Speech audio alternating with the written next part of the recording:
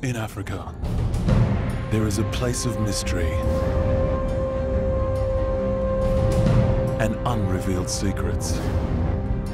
If you are looking for adventure, then this is for you.